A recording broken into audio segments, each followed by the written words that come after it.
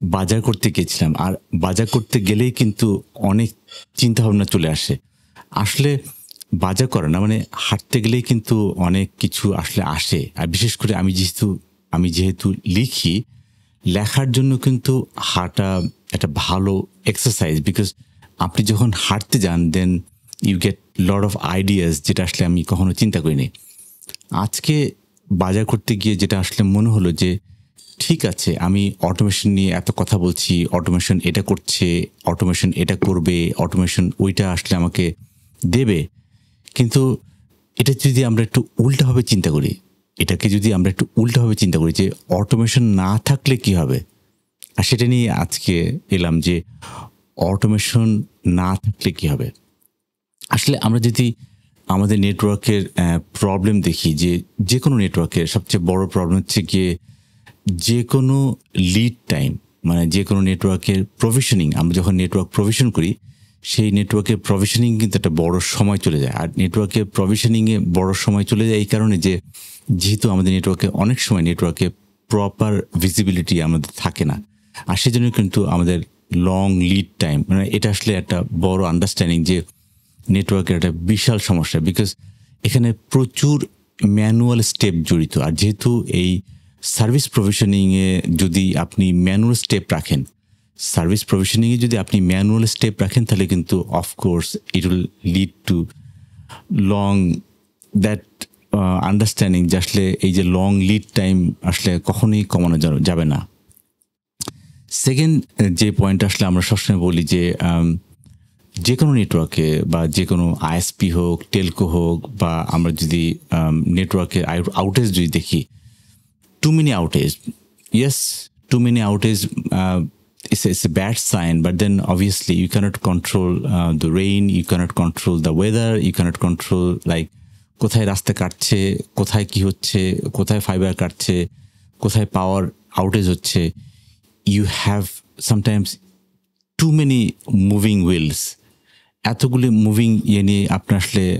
Deal করা difficult so too many outage is also a a difficult thing যেখানে আসলে আমরা বলছি যে এই যে বারবার নেটওয়ার্ক আউটেজ হচ্ছে, এটা কিন্তু রেভিনিউ এবং এর পাশাপাশি কাস্টমার স্যাটিসফ্যাকশনে কিন্তু একটা বড় বড় একটা ইম্প্যাক্ট আছে। তারপরে অফকোর্স আমরা যদি বলি যে it takes long time to repair why does it take too long time to repair because finding fault is also a big big problem in the network because if the network is not simplified, if that network is like আমার যদি একটা network end to end visibility না থাকে then finding problem is is a major issue so obviously এটাকে যদি আমি summarise করি যে নেটওয়ার্কে আমি যদি বলি যে আমাদের টেলকোতে আইএসপিতে বা নেটওয়ার্কে যদি আমাদের অটোমেশন না থাকে তাহলে কি হবে? Of course it limits my business. The first thing, if I don't have the automation right now, মানে এই যুগে যদি আমার অটোমেশন না থাকে it will it will limit my business and limiting business means like high quality service অ্যাসুরেন্সের কথা যদি বলি বা এর পাশাপাশি যদি ফাস্ট এবং রিলায়েবল নেটওয়ার্কের যদি কথা বলি অল দিস থ্রি কিওয়ার্ড এটার যদি একটা সিম্পলিফাইড যদি একটা উত্তর থাকে that has to be the automation that has to be the automation part of it because দিন শেষে আমরা যদি যত গল্পই দিই না কেন, কিন্তু আমরা যদি আমাদের ম্যানুয়াল প্রসিডিওরের মাধ্যমে যদি সার্ভিস প্রফেশনিং করি ম্যানুয়াল প্রফেশনিংয়ের মাধ্যমে যদি আমাদের গ্রোথ নেটওয়ার্কের গ্রোথটা যদি আমরা মেজার করি এবং ম্যানুয়াল গ্রোথের ম্যানুয়াল প্রফেশনিংয়ের মাধ্যমে যদি আমরা সব কিছু দেখি then obviously obviously it the lack of automation will obviously limit my business and this is this is what we have seen in everywhere that যদি আমি অটোমেশন না করি it will it will limit my business and this is what we don't we don't want so এখন এটা আসলে যদি আমরা যদি এভাবে আলাপ করি যে যে কোনো প্ল্যাটফর্ম যে কোনো জায়গায় যদি আমরা আসলে নেটওয়ার্ক নিয়ে কাজ করি সেই নেটওয়ার্কে কিন্তু আমরা এটা কিন্তু একটা বড় ইস্যু আমি আমি দেখেছি যে ডেপ্লয়িং নেটওয়ার্ক মানে যে কোনো নেটওয়ার্ক যদি আমি যদি ডেপ্লয় করতে চাই সেই ডেপ্লয় করতে গেলে এটা আমি নেটওয়ার্কটাকে যেভাবে ডিজাইন করেছি, সেভাবে ডেপ্লয় করতে পারতে হবে। বিকজ আমরা যখন নেটওয়ার্ক ডেপ্লয় করি সেই নেটওয়ার্ক ডেপ্লয় করতে গেলে কিন্তু একটা বড় প্রবলেম হয় যে আমি যেভাবে নেটওয়ার্কটাকে ডিজাইন করেছি ডেপ্লয় করতে গিয়ে কিন্তু দেয়ার রিয়েলিস্টিক সিনারিও সেই রিয়েলিস্টিক সিনারিওতে কিন্তু আমরা নেটওয়ার্কটাকে ডেপ্লয় করতে পারি না এবং ডেপ্লয় না করার কারণে কিন্তু too many errors and then এটা আসলে ফুল ভিজিবিলিটি থেকে আমরা আসলে আমরা হারিয়ে যাই। তো এই জন্য বলছি যে আমাদের যে কোনো নেটওয়ার্ক ফাংশনালিটির মধ্যে ধরা যাক আমাদের সেটা এল টু বা এল থ্রি নেটওয়ার্ক হোক মানে এই জায়গাটাতে যদি আমরা আসলে এভাবে ওয়ার্কআউট করি যে আমরা যেভাবে নেটওয়ার্কটা ডিজাইন করেছিলাম, সেই নেটওয়ার্ক ডিজাইনটার মধ্যে কোন কোন জায়গায় ব্যত্যয় আছে, সেই ব্যত্যয়টা যদি আমি তখনই ফিগার আউট করতে পারি এবং তখনই যদি আমার নেটওয়ার্ক ডিজাইনিংয়ে যদি সেই জায়গাটা যদি টুইকিং করি যাতে আমার বর্তমান যে ডিজাইনটা আছে, সেই বর্তমান ডিজাইনটাকে ভ্যালিডেট করেই কিন্তু আমি আমার ডেপ্লয়মেন্টটা করব। আদারওয়াইজ কিন্তু এটা এটা এটা difficult and how can you validate the network how can you actually network ভ্যালিডেশনটা হবে through automation because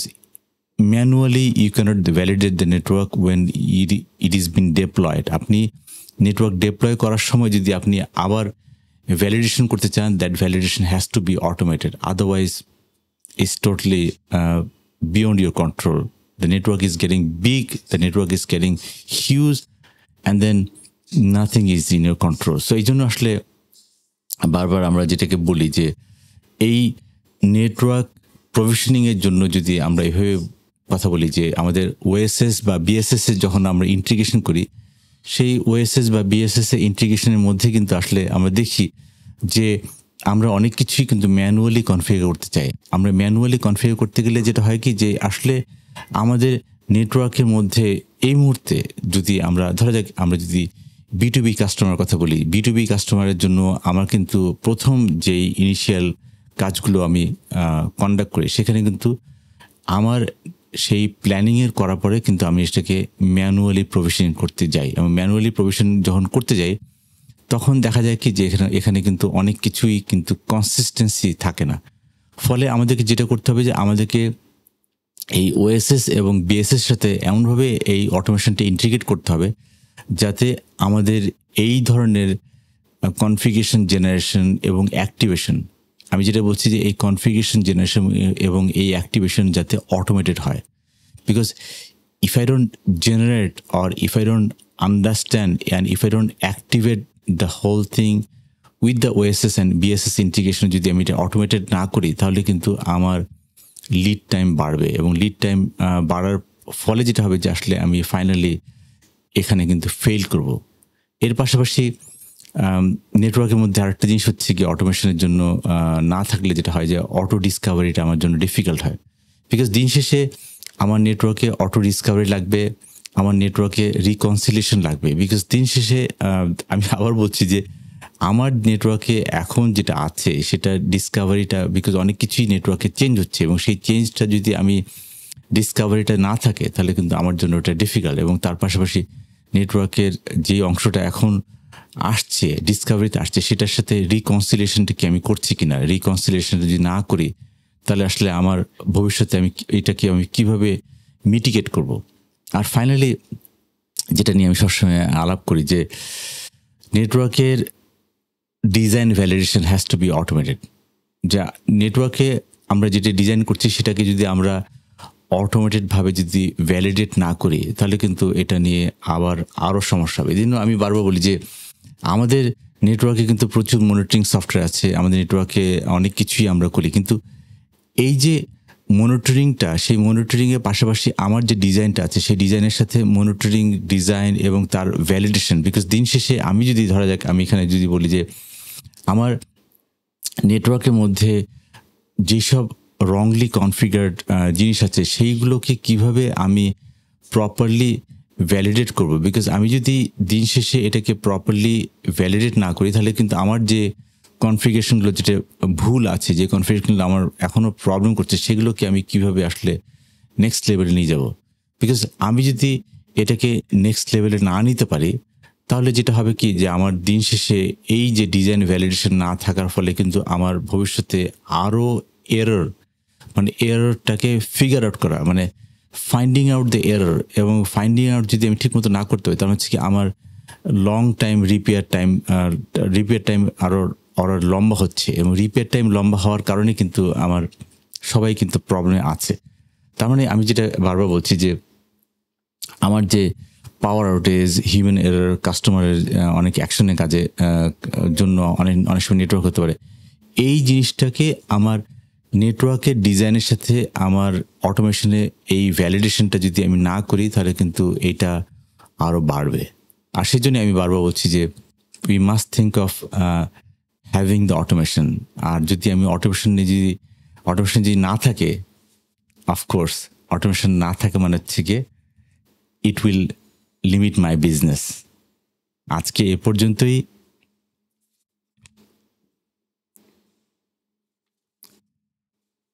진짜 참네.